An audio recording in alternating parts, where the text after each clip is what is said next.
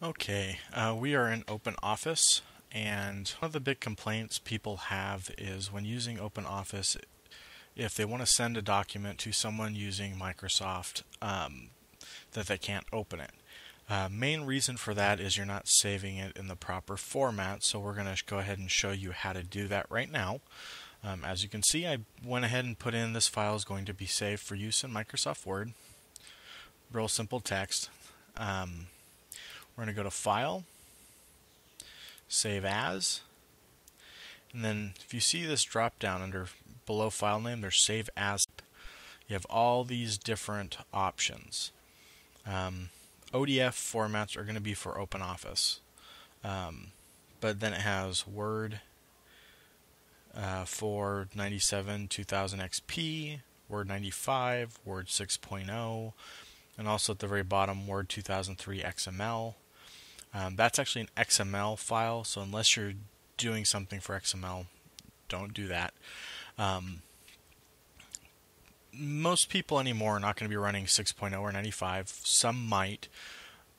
So the most common one you're going to want to save it as is the Word 97 2000 XP, which is a dot doc um, or period doc, depending on how how that makes sense to you. Um, so we're going to click that and I've saved this previous. I'm going to go ahead and save it again. In this case, it's going to say replace. I'm going to say yes.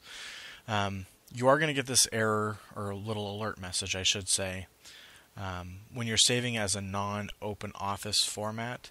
The reason for this is while a lot of this can be transferable, not all formatting is universal. So some things won't save right. Um, but in this particular case, you know, basic text, all that should be just fine. Um, and if anything, it allows them to see it. Um, if you need it in exact format, save it as a PDF if they don't need to edit it. We can go into that in a different one. So at this time, I'm going to say keep current format.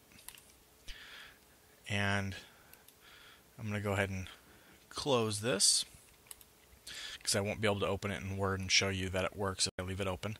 So I'm going to bring open Word. This one's 2007. Um, I'm going to go to open.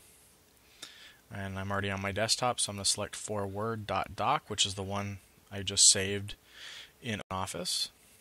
And as you can see, I can see just exactly how it was saved um, from OpenOffice. So again, if you're using OpenOffice, you can send it to people with Word. You just have to save it as a .doc file so they can open it. Um, there's a couple other options, and I will do tutorials on other formats you can save it as and why. But in this case, if you're wanting to send it to someone Word and make it simple, go ahead and save it in a .doc. Um, and most everything should be should be saved um, for them to view it in the same way you typed it up or styled it. Hope that helped. Thank you.